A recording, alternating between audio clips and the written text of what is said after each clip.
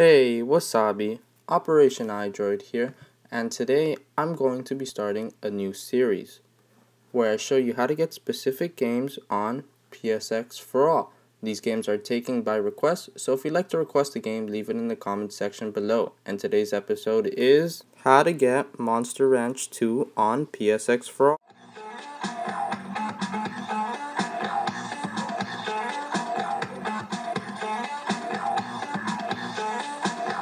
Started.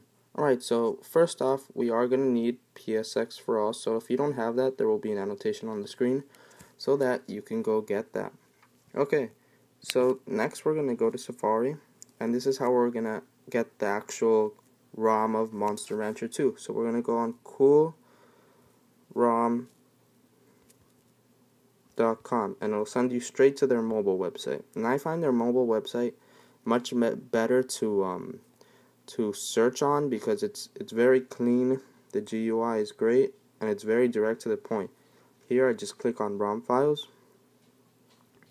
ROM files, and then it'll open all the systems that you could get ROMs on.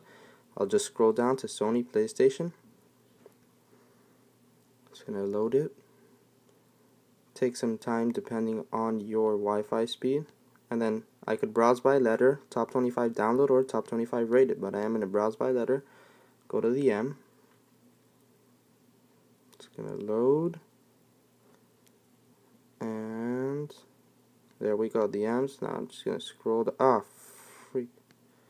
Oh, I thought I clicked on that by, by accident. So now I'm going to scroll down. Come on, baby, where are you? Where are you? Let's go up a little bit. Monster Rancher 2. So then I'm going to click on that.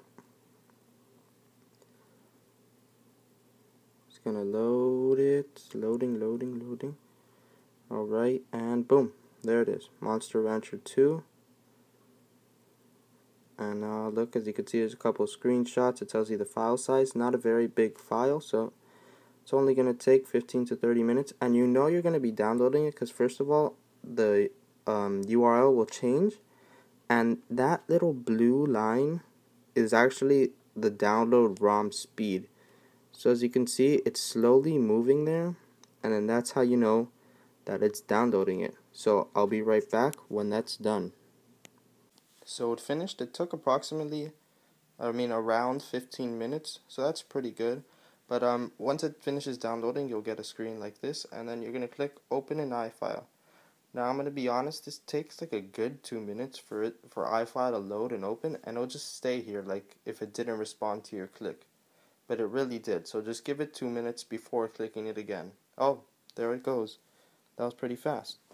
Alright, so then when you when it opens, it'll ask you to look at it in a zip viewer.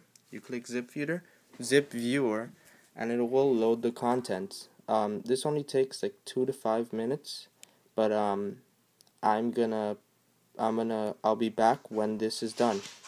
So that didn't take too long, approximately two minutes, I think. But um, as you can see, we have three files here, and the only one we want is the .bin file. So I'm going to click on it, and I'm going to extract it.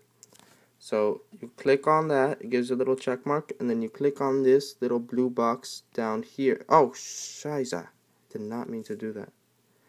Then you click on this little box with the arrow down here. It will unpack the file, and this also takes like two minutes. So I'll be back when it's done it won't give you any notification that it finished unpacking it, extracting it, I mean, besides that the prompt will fade away. So once the prompt fades away, you know that it did its job. So you click done, and then it'll load here, and boom, there's our file, Monster Rancher 2.bin. So now we have to copy that to the correct location where the PSX for All app is. So we're going to copy it as you can see how I did it there I clicked edit clicked on the little circle next to it it'll check mark it. On the bottom right I click the clip clipboard and then on the top I click copy. Done. And I'm going to go back to VAR mobile click on media scroll down ROMs PSX and then this is where I'm going to copy my file. So I'm going to click edit once again click on the clipboard and now paste. This should only take about a minute, but I'll be back when it's done.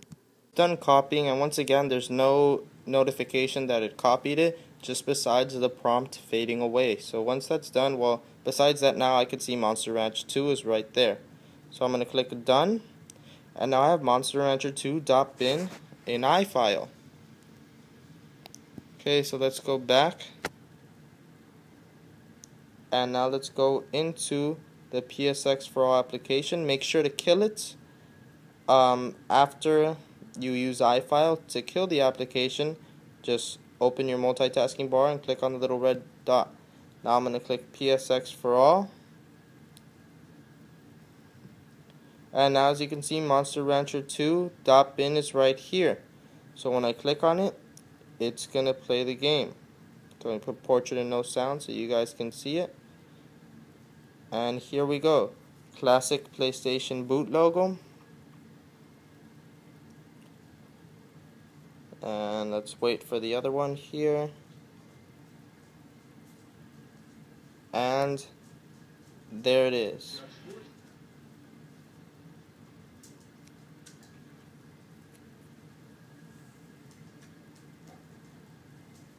Alright.